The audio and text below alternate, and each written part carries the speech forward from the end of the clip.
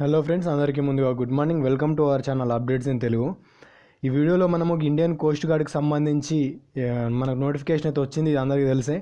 కాకపోతే దీనికి తెలియని విషయం ఏంటి అంటే ఇంకో మూడు రోజుల్లో అయితే అప్లికేషన్ అయితే స్టార్ట్ అవుతుందన్నమాట. అక్టోబర్ ముప్పై నుంచి నవంబర్ ఏడు వరకు అప్లికేషన్ ప్రాసెస్ అయితే ఉంటుంది. దాని తర్వాత అప్లికేషన్ ప్రాసెస్ అయితే ఉండదు. కేవలం వన్ వీక్ మాత్రమే ఉంటుంది. సో దీనికి సంబంధించి ఈ ఈ డేస్ మొత్తంలో మొత్తం మన కోస్ట్ గార్డ్కి సంబంధించి పూర్తి వీడియోస్ అయితే చేయడం అయితే జరుగుతుంది. అంటే ఇదే కాదు మనకు సంబంధించి టెరిటరల్ ఆర్మీ వీటికి సంబంధించి కూడా చేయడం అయితే జరుగుతుంది. కాకపోతే ప్రస్తుతం సిలబస్ గురించి అదేవిధంగా ఏ విధంగా ఉంటుంది అని చెప్పేసి ఒకసారి చూసుకుందాం. దాంతోపాటు నెక్స్ట్ వీడియో మనం చూసుకుంటే మనకి ఇది అప్లికేషన్ ప్రాసెస్ స్టార్ట్ అయిన తర్వాత కూడా మీకు క్లియర్గా ఇంకా చెప్పడానికైతే ట్రై చేస్తాను. ఏ విధంగా అప్లై చేయాలో మొత్తం దీనికి ఎలాంటి ఫీజు లేదు. అదొకటి మీరు గుర్తుపెట్టుకోండి. సో సింపుల్గానే ఉంటుంది కాబట్టి ప్రతి ఒక్క విషయాన్ని అయితే నేను మీకు అప్డేట్ ఇవ్వడానికి ట్రై చేస్తాను. దయచేసి మీరు నాకు ఈ ఏమైనా హెల్ప్ చేయాలి అనుకుంటే కేవలం నా వీడియోస్ని షేర్ మాత్రం చేయడం మర్చిపోకండి. ఖచ్చితంగా షేర్ చేయండి. అదేవిధంగా లైక్ చేయడం అయితే మర్చిపోకండి. నా రిక్వెస్ట్ ఒకటే షేర్ చేయడం మర్చిపోకండి. ఇక టాపిక్లోకి వెళ్దాం. సో నేను చెప్పడం అయితే జరిగింది మీకు ఆల్రెడీ. ఇక చూసుకోవచ్చు మనకు అక్టోబర్ ముప్పై నుంచి అయితే అప్లికేషన్ స్టార్ట్ అవుతుంది. అదేవిధంగా నవంబర్ ఎనిమిది నవంబర్ ఏడు కాదు నవంబర్ ఎనిమిదికి లాస్ట్ డేట్ అన్నమాట. సో మనకు సెలెక్షన్ ప్రాసెస్ ఏ విధంగా ఉంటుందో ఒకసారి మనం డీటెయిల్గా చూసుకున్నట్టయితే మొదటగా ఎగ్జామ్ అయితే ఉంటుంది ఎగ్జామ్లో క్వాలిఫై అయిన పర్సన్కి ఫిజికల్ టెస్ట్ అయితే కండక్ట్ చేస్తారు ఫిజికల్ టెస్ట్లో క్వాలిఫై అయిన పర్సన్కి మెడికల్ టెస్ట్ కండక్ట్ చేస్తారు. అయితే మనం ఇందులో మొదటగా రిటర్న్ ఎగ్జామ్ అయితే ఎగ్జామ్కి సంబంధించి సిలబస్ ఏముంటుంది ఎన్ని మార్కుల ప్రాసెస్ ఉంటుంది అని చెప్పేసి డీటెయిల్ ఒకసారి అయితే తెలుసుకుందాం. దయచేసి వీడియో మొత్తం చివరి వరకు చూడండి చూసిన తర్వాత వీడియోని షేర్ చేయడం అయితే మర్చిపోకండి. ఇక ఎగ్జామ్ ప్యాటర్న్ గురించి చూసుకున్నట్టయితే మనకి the written exam will be objective అన్నట్టు ఇది మొత్తం మనకు ఆబ్జెక్టివ్లోనే ఉంటుంది. ఎలాంటి నెగిటివ్ మార్కింగ్ అయితే ఉండదు. కేవలం మీకు ఎనభై ప్రశ్నలకి మాత్రమే ఎగ్జామ్ ఉంటుంది. ఇక్కడ మీరు ఇంకా సింపుల్ ఇది. ఎనభై మార్కులకు ఎనభై మార్కులకు ఎనభై ప్రశ్నలు మాత్రమే ఉంటాయి. దీనికి ఒక గంట సమయం అన్నమాట. మొత్తం అరవై నిమిషాల టైము ఎగ్జామ్ వచ్చేసి మనకి ఇంగ్లీష్ అదేవిధంగా ఇంగ్లీష్ రెండు లాంగ్వేజ్లో మాత్రమే ఉంటుంది. తెలుగులో మాత్రం ఉండదు. ఇది ఒకటి మీరు గుర్తించాలి. ఇంకా చూసుకున్నట్టయితే ఇక ఒకసారిగా సిలబస్ గురించి చూసుకున్నట్టయితే ఇక్కడ మనకు మొత్తం క్వాంటిటివ్ ఆప్టిట్యూడ్ అదేవిధంగా mathematics general science general English general awareness ఈ విధంగా అయితే ఉంటుంది. దాంతోపాటు కరెంట్ అఫైర్ జనరల్ నాలెడ్జ్ ఇదే విధంగా రీజనింగ్ రీజనింగ్లో వెర్బల్ అదేవిధంగా నార్ నాన్ వెర్బల్ ఈ రకంగా అయితే వీటి నుంచి అయితే ప్రశ్నలు అయితే వస్తాయి. అయితే ఇందులో మనం గమనించదగ్గ విషయం ఏంటి అంటే దీని ప్రాసెస్ వచ్చేసి జస్ట్ టూ త్రీ డేస్లో ఎవరైతే ఎగ్జామ్ క్వాలిఫై అయిపోతారో అదే రోజు ఈవెంట్స్ కూడా కండక్ట్ చేయొచ్చు లేకపోతే దాని తర్వాత డే అయినా కండక్ట్ చేయొచ్చు ఇంకో వన్ డే తర్వాత మనకు మెడికల్ కూడా కండక్ట్ చేసేసి మనకు జాబ్ వచ్చిందా రాలేదా అని చెప్పేసి ఆరు డేస్లోనే మనకి తెలుస్తుంది అనమాట చాలా మంచి ఉద్యోగం అండి ఇది. ఎందుకంటే అప్లై చేసిన ప్రతి ఒక్కరినైతే పిలురు పిలవారు. షార్ట్లీ చేసిన తర్వాతనే పిలుస్తారు.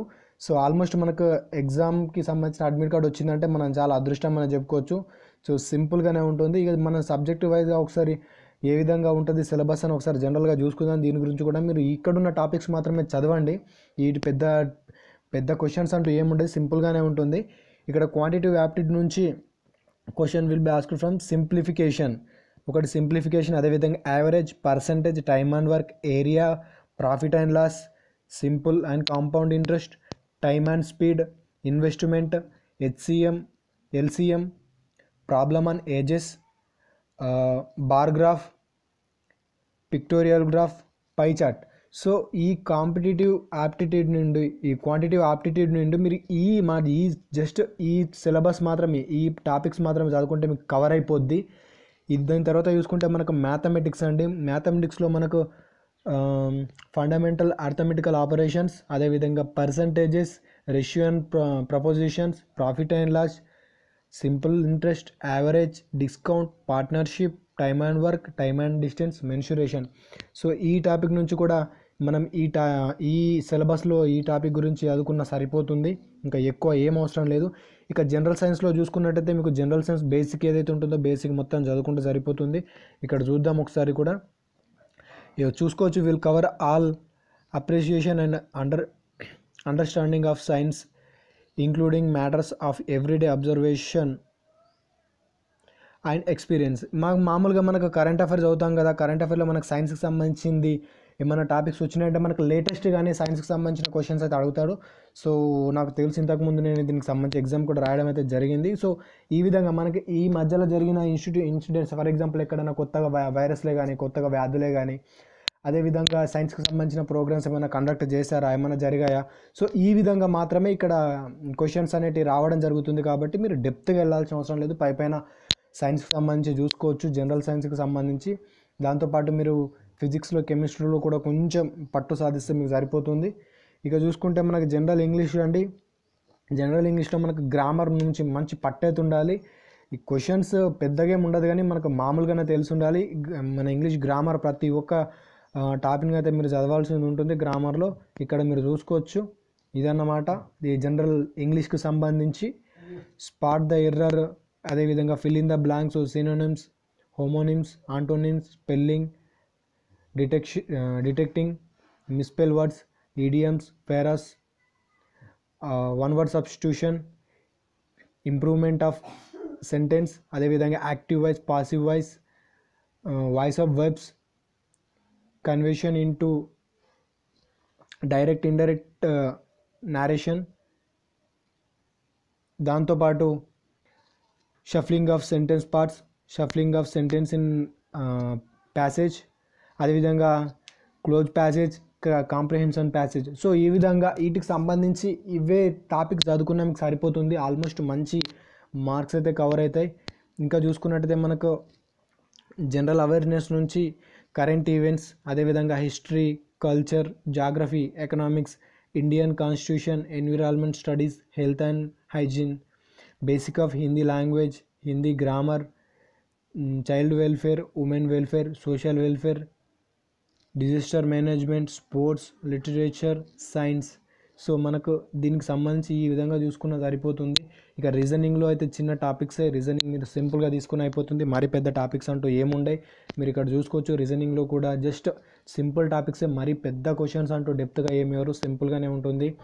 ఇక్కడ మీరు మామూలుగా మోడల్ టూ వరకు మోడల్ త్రీ వరకు ప్రాక్టీస్ చేసినా సరిపోతుంది. ఆ విధంగా చేయనికైతే చూసుకోండి.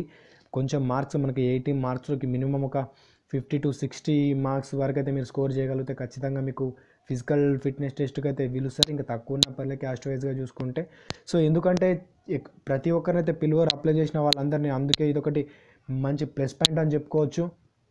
ఇందులో చూసుకుంటే అది ఇక మీరు ఎక్కువ ఫోకస్ చేయాల్సింది జనరల్ ఇంగ్లీష్ మీద ఫోకస్ చేయండి. అదేవిధంగా మ్యాథ్స్ దాంతోపాటు రీజనింగ్ సో వీటికి సంబంధించి అయితే ఎక్కువ క్వశ్చన్స్ అయితే వీటి మీద వస్తాయి. మీరు ఇంగ్లీష్ మాత్రం లైట్గా తీసుకోకండి.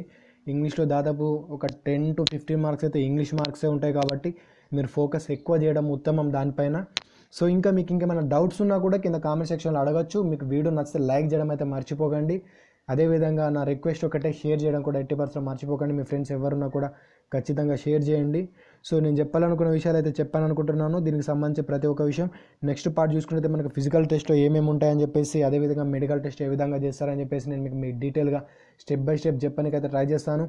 అదేవిధంగా దీనికి సంబంధించి ఎగ్జామ్ క్వశ్చన్స్ అదేవిధంగా పీడిఎఫ్ ఫైల్స్ మీకు ఏమైనా కావాలనుకుంటే కింద కామెంట్ సెక్షన్లో అడగవచ్చు మీ యొక్క స- మీరు అడిగితే ఖచ్చితంగా నేను మీకు చేయడానికైతే ట్రై చేస్తాను. పీడిఎఫ్స్ అదేవిధంగా ఇంపార్టెంట్ క్వశ్చన్స్ ఏమున్నా కూడా డెఫినెట్లీ మీకు అందుబాటులో ఎన్నికైతే నేను ఖచ్చితంగా ట్రై చేస్తాను. సో ఇదన్నమాట మీకు కావాలనుకుంటే కింద కామెంట్ సెక్షన్లో అడగవచ్చు సో ఫ్రెండ్స్ ఖచ్చితంగా లైక్ చేయడం మర్చిపోకండి షేర్ చేయడం మర్చిపోకండి. Thank you thanks for watching have a nice day జై హింద్